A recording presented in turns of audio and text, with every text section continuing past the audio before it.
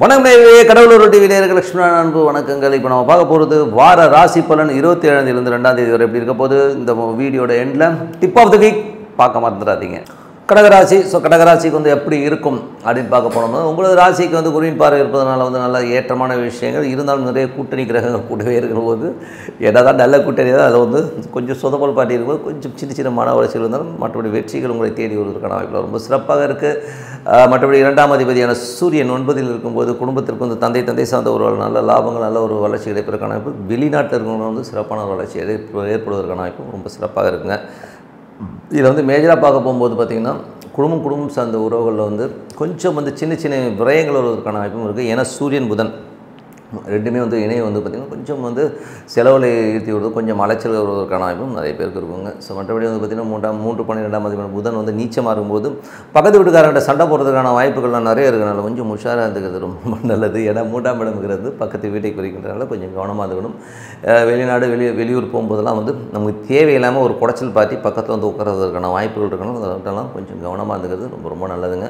மற்றபடி நாலாம் நான்காம் அதிபதியான சுக்கரன். ஸோ நான்காம் அதிபதியான சுக்கரன் வந்து உங்களுக்கு பார்த்திங்கன்னா நல்ல ஒரு வளர்ச்சியோட வந்து பார்த்திங்கன்னா உங்களுக்கு பத்தில் இருக்குது. ஸோ தொழில் ரீதியான விஷயம் நல்ல வளர்ச்சிகள் ஏற்படுவதற்கான வாய்ப்பு. போன வாரம் வரை வந்து நிறைய தொழில் வந்து நிறைய டென்ஷன் ஸ்ட்ரெஸ் இருந்தவங்களுக்கும் வந்து கொஞ்சம் நல்ல ரிலீஃப் கிடைப்பதற்கான வாய்ப்பு ரொம்ப சிறப்பாக இருங்க சொன்னது நல்ல விஷயம் தான். ரியல் எஸ்டேட் ரியல் எஸ்டேட் சார்ந்த துறைகளெல்லாம் காரு வண்டி வாகனங்கள் எல்லாம் வியாபாரம் பண்ணுறவங்களாம் ரொம்ப சிறப்பான ஒரு குரோத் கிடைப்பதற்கான வாய்ப்பும் ரொம்ப சிறப்பாக இருக்குது ஐந்தாம் அதிபதி செவ்வாய். ஐந்தாம் அதிபதி செவ்வாய் வந்து பன்னிரெண்டில் இருக்குது. ஸோ அவர் வந்து பார்த்திங்கன்னா உங்களுக்கு உங்களோட ராசிக்கு வந்து பார்த்திங்கன்னா தொழில் ரீதியான விஷயங்கள் வந்து கொஞ்சம் விஸ்தரிப்பு சம்மந்தமான விஷயங்கள் வந்து கொஞ்சம் எக்ஸ்பென்ஷனுக்கெல்லாம் வந்து கொஞ்சம் வந்து நீங்கள் செலவு பண்ணுற மாதிரி விஷயங்கள் நிறையா இருக்கும். ஸோ அதனால் வந்து கொஞ்சம் இருந்தாலும் வந்து தொழில் ரீதியான விஷயம் ரொம்ப கவனமாக இருக்கணும்.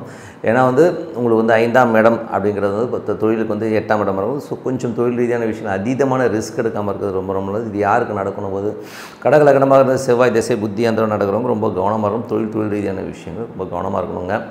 ஆறாம் அதிபதியான குரு வந்து பார்த்திங்கன்னா உங்களுக்கு ஒன்பதில் இருக்குது. ஸோ ஒன்று ஆறு ஒன்பதுங்கிறது பார்த்தீங்கன்னா தொழில் நல்ல மென்மை வேலை செய்கிற இடங்களில் வந்து ஒரு ப்ரொமோஷன் கிடைக்கிற இந்த மாதிரி விஷயங்கள் ரொம்ப சிறப்பாக இருக்கும்.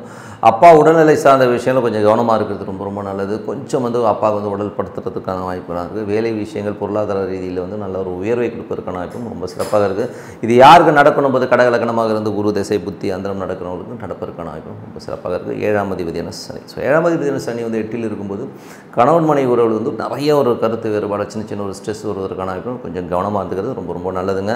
ஏன்னா வந்து ஏழு எட்டுனும் போதே ஒரு மன உளைச்சல் ஏற்படுவதற்கான வாய்ப்பு பார்ட்னர்ஷிப் சம்மந்தமான விஷயம் சின்ன சின்ன ஒரு மன உளைச்சல் வரும். அதனால் டென்ஷன் ஆகாமல் இருக்கணும்னா நல்ல ஒரு வழிபாடு வச்சுக்கணும். ஸோ வழிபாடு பண்ண பண்ண இந்த மாதிரி டென்ஷன்ஸில் கிளியர் ஆகும். இது யாருக்கு மேஜராக நடக்கணும் போது கடகலக்கணமாக இருந்து சனி திசை புத்தி அந்த நடக்கணும் மேஜராக நடப்பதற்கான இருக்கும் கொஞ்சம் கவனமாக இருந்துக்கணும். மற்றபடி வந்து பார்த்திங்கன்னா ஒன்பதாம் தேதி ஸோ ஒன்பது. ஒன்பதில் வந்து அது குரு இருக்கிறது வந்து நல்ல விஷயங்கள் நல்ல மாற்றங்களை கொடுக்கும் நல்ல ஏற்றங்களை கொடுக்கும். அதே நேரத்தில் வந்து நிறைய கூட்டு கிரக கூட்டணி கிரகங்கள் நிறைய இருக்குங்க. புதன் நீச்சமாக இருக்கிறது வந்து பார்த்திங்கன்னா சில நேரங்களில் வந்து நம்ம வந்து கம்யூனிகேஷனால் சின்ன சின்ன அவமானங்கள் ஏற்படுது. வெளியூர் பிரயாணங்கள் போது பக்கத்துலேயே வந்து எவனாவது நம்ம மேலே தூங்குவான். தூங்கும்போதே அப்படியே ஜொல்லு ஒழிஞ்சிட்டே தூங்குவான். இதனால் ஒரு சின்ன சின்ன தொந்தரவுகள். பக்கத்து வீட்டுக்காரண்டெல்லாம் வந்து ஜாகிரதையாக பேசுங்க. வண்டி ஓட்டுறதுல சண்டை அது சண்டை இது சண்டை வந்துடும் வர்றதுக்கான வாய்ப்புலாம் இருக்கும் கொஞ்சம் கவனமாக இருந்துக்கிறது ரொம்ப நல்லதுங்க.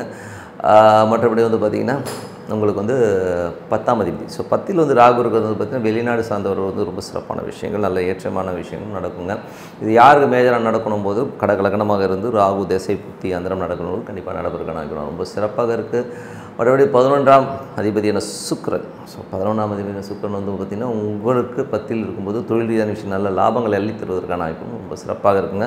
ஸோ இது யார் நடக்கணும் கடல் லக்னமாக இருந்து சுக்கர திசை புத்தி அந்தரம் நடக்கணும் கண்டிப்பாக நடப்பதற்கான வாய்ப்பாக இருக்குது பன்னிரெண்டில் உள்ள செவ்வாய் உங்களுக்கு வந்து ஐந்தாம் அதிபதியாக இருந்தால் குழந்தைகளுக்காக கொஞ்சம் செலவு பண்ணுறது அந்த மாதிரி விஷயங்கள் நடக்கும். கலைஞர்களுக்கு வந்து நிறைய பிரயாணங்களை ஏற்படுத்துவதற்கான வாய்ப்பும் நிறையா இருக்குங்க. ஸோ இது வந்து யாருக்கு நடக்கணும் போது கடக லக்னமாக இருந்து செவ்வாய் திசை புத்தி அந்தரம் நடக்கணும் கண்டிப்பாக நடப்பதற்கான வாய்ப்பெலாம் இருக்குது so tip of the week இன்றைக்கி டிப் ஆஃப் த வீக்கில் நம்ம பார்க்க போகிறது என்னென்னா முகூர்த்தம்.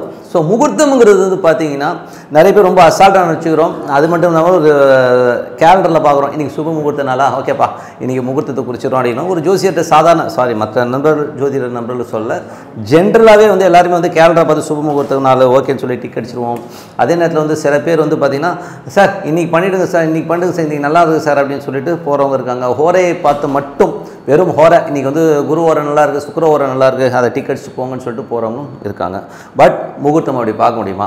அப்படின்னா என்னை பொறுத்தவரை ஜோதிடம் பார்க்குறது ரொம்ப ஈஸி ஜோசியம் பார்க்கணும்னு வைங்களேன் ஒன்றும் இல்லை. உங்களோட date of birth time of birth place of birth போட்டுட்டு எனக்கு சார்ட் வந்துடும் சார்ட் வச்சு கடை சொல்லிடலாம். அது கோச்சார கிரகங்களை வச்சு நான் வந்து பலன் சொல்கிறது ரொம்ப ரொம்ப ஈஸி ஆனால் ஒரு முகூர்த்தம் குறிக்கிறதுக்கு ரொம்ப டஃபஸ்ட் ஜாப் இன்னும் கேட்டிங்கன்னா நீங்கள் அதுக்கு தான் எனக்கு சார்ஜஸ் நிறைய தரணும். ஏன்னா அது எப்படி வரும்னா ஒரு குடும்பத் தலைவர் யார் வந்து குடும்பத் தலைவராக இருக்காரோ அவருடைய ஜாதகத்தை வச்சு அதில் என்னென்ன ப்ளஸ் அண்ட் மைனஸஸ் வரணும் அப்படிங்கிறத பார்த்து இதில் வந்து பார்த்திங்கன்னா நிறைய கான்ட்ரவர்சிஸ் இருக்குது அன்றைக்கி வர நட்சத்திரங்கள் வந்து அஸ்தங்கமாகக்கூடாது. மேஜராக வந்து அஸ்தங்க தோஷம் இருக்காது. இதே மாதிரி வந்து அந்த ஜாதகருடைய ஜாதகத்தில் அஸ்தங்கமோ தோஷமோ உள்ள கிரகங்கள் வந்து நட்சத்திரமோ லக்னமோ சம்மந்தப்படாமல் இருக்கணும். அப்புறம் லக்னம் சம்மந்தப்பட்ட லக்னம் அமையிறதும் வந்து பார்த்திங்கன்னா ரொம்ப பர்ஃபெக்டாக அமையணும். இதுக்கு நடுவில் வந்து சந்திராசிரமம் சந்திரம் சந்திரன் சம்மந்தமான விஷயங்கள் அமையிறது. அதேமாதிரி காரக கிரகங்கள் வந்து தப்பான இடத்துல இல்லாமல் இருக்கணும். இந்த மாதிரி ஏகப்பட்ட ஆஸ்பெக்ட் நான் சொன்னது தலை சுத்தம். ஸோ ஒரு அது மட்டும் இல்லாமல் சில டிகிரிஸில் வந்து லக்னம் குறிக்கும் போது அது வந்து நம்மளை வேறு லெவலுக்கு கொண்டு போவோங்க அது வந்து பார்த்திங்கன்னா அந்த புஷ்கர நவாசம் நவாம்சம்னு சொல்லுவோம். ஸோ புஷ்கர நவாம்சம் வந்து பர்டிகுலர் டிகிரியில் வந்து பார்த்திங்கன்னா அது ஒரு பெரிய லெவலில் கொண்டு போகும். அதே நேரத்தில் வந்து நட்சத்திரங்கள் ரொம்ப மெயினாக இருக்கணும் லக்னம் ரொம்ப மெயினாக இருக்கணும். எனது குருநாத திரு ஜி கே அவர் சொல்கிறது மாதிரி பார்த்திங்கன்னா உங்கள் ஜாதகத்தில் அஸ்தங்கமாகிற கிரகங்களுடைய லக்னங்களையோ நட்சத்திரங்களையோ வந்து ஒரு விஷயங்கள் பண்ணும்போது அது கண்டிப்பாக ஒரு சுப முகூர்த்தத்தில் பண்ணாலும் அது கரெக்டாக ஒர்க் ஆகாதுங்கிறதெல்லாம் இருக்குது ஸோ இந்த மாதிரி நிறைய ஆஸ்பெக்டில் தான் வந்து முகூர்த்தம் பார்க்கணும். ஸோ ஜஸ்ட் லைக் தட் முகூர்த்தம் பார்க்குறது ரொம்ப ரொம்ப தப்புங்க. ஸோ அடுத்தது வந்து பார்த்திங்கன்னா திருமண பொருத்தம். திருமண பொருத்தமும் பார்த்திங்கன்னா ரொம்ப ரொம்ப ரொம்ப டஃப்பான ஜாப்ங்க ஏன்னா வந்து திருமண பொருத்தம் வந்து இன்றைக்கி வந்து எப்படி பார்க்குறாங்கன்னா நார்மலாக வந்து நிறைய ஆப் வந்துருச்சு. ஆப்பில் வந்து பார்த்தீங்கன்னா இப்படி போட்டிங்கன்னா இத்தனை பொறுத்துட்டு வந்துருது அதே மாதிரி நிறைய பேர் ரெக்கனரே வச்சுருக்கோம். ரெடி ரெக்கனரில் வந்து பார்த்தீங்கன்னா பெண்ணின் நட்சத்திரம் ஆணின் நட்சத்திரம் ஏழு பொருத்தம் எட்டு பொருத்தம் பத்து பொருத்தம் டிக் அடிச்சுட்டு போகிறோம் இதில் வந்து வசியம் இருக்குதா அது இருக்குதா இது இருக்குதான்னு சொல்லிட்டு டிக் அடிச்சுட்டு ஸோ இது அப்படி கிடையாதுங்க. ஆக்சுவலாக வந்து என்னை பொறுத்தவரை நட்சத்திர பொருத்தங்களை விட ஜாதக பொருத்தம் ரொம்ப ரொம்ப மெயின்ங்க ஏன்னா வந்து நான் நிறைய ஜாதகங்களை பார்த்துருக்கேன். அந்த ஜாதகங்களை பற்றி பார்த்திங்கன்னா ஒன்றுமே இல்லை. சும்மா ரெடி ரெக்கனரில் ஆறு பொறுத்தருக்கு எட்டு பொருத்தம்னு திருமணம் ஆகிட்டு நிறைய கஷ்டப்படுறதும் இதனால தான். ஏன்னா ஒரு ஜாதகத்தில் திருமண பொருத்தம் பார்க்கும்போது மேஜராக பார்க்க வேண்டியது லக்னம். ஸோ லக்னம் வந்து பார்த்தீங்கன்னா ஆறு எட்டாக வராமல் இருக்கணும். சந்திரன் ஆறு எட்டாக வராமல் இருக்கணும். அவங்க நட்சத்திரம் இவங்க நட்சத்திரம் வேதை நட்சத்திரமாக வராமல் இருக்கணும். இது மாதிரி ஏகப்பட்ட ஆஸ்பெக்ட் இருக்குது ஓகேங்களா அது மட்டும் இல்லாமல் இவங்க குருவும் அவங்க செவ்வாய் தொடர்பு இருக்கணும். அந்த குரு அஷ்டமாதிபதியோட தொடர்பு இல்லாமல் இருக்கணும். லக்னத்தில் இல்லாமல் இருக்கணும். ஏகப்பட்ட ஆஸ்பெக்டில் வந்து நம்ம பார்க்க வேண்டிய ஒரு விஷயம்தான் வா- என்னது திருமண பொருத்தமே. ஸோ ஆனால் நம்ம எப்படி பார்க்குறோன்னா சும்மா ஜஸ்ட் லைக் தட் டிக் பண்ணி போகிறது வந்து ரொம்ப ரொம்ப தவறுங்க. ஏன் இது டிப் ஆஃப் த வீக்கில் சொன்னால் இட்ஸ் அ லைஃப் ஆக்சுவலி ஒரு ஒரு நிகழ்ச்சியை வந்து தொடங்குறது சுப முகூர்த்தத்தில் தொடங்குறது எவ்வளோ முக்கியங்கிறது வந்து நீங்கள் வந்து பாருங்கள் அவ்வளோ பர்ஃபெக்டாக பார்க்க வேண்டிய ஒரு விஷயங்க. ஏன்னா வந்து சுப முகூர்த்தத்துக்கு வந்து டைம் குறிக்கிறது வந்து ரொம்ப ரொம்ப ஒரு டிஃபிகல்ட் டாஸ்க்கு அதே மாதிரி வந்து பார்த்தீங்கன்னா பொருத்தம் பார்க்குறது அதோட பெரிய டாஸ்க்கு ஏன்னா இது இருந்தால் அது இருக்காது அது இருந்தால் இது இருக்காது. என்கிட்ட வந்து பொருத்தம் பார்க்குறவங்க வந்து நிறைய பேர் வந்து சண்டை போடுறது என்ன சார் எவ்வளோ ஜாதகம் சார் காட்டுறது? அப்படின்னு. ஆனால் நான் அந்த மாதிரி பொருத்தம் பார்த்து கொடுத்த ஜோ- ஜாதகம் ரொம்ப பெரிய ப்ளஸ்ஸாக இருக்கிறதுன்றது ரொம்ப நல்லா இருக்காங்க ரொம்ப நல்லா இருக்குன்றது வந்து ரொம்ப சந்தோஷமான விஷயங்கள். அதனால் வந்து என்ன சொல்கிறேன்னா என்கிட்ட பார்க்க வரணும்னு சொல்ல கரெக்டான ஆளுக்கிட்ட போய் பார்த்து இந்த பொருத்தங்கள் பர்ஃபெக்டாக வச்சுங்க. அதே மாதிரி முகூர்த்தத்துக்கு வந்து கொஞ்சம் காசு நிறைய கொடுங்க. நிறைய பேர் என்ன நினைக்கிறேன்னா முகூர்த்தம் தானே சார் என்ன சார் சும்மா அப்படி பார்த்து அப்படியே டிக்கெட் விடணும் அப்படிலாம் கிடையாதுங்க.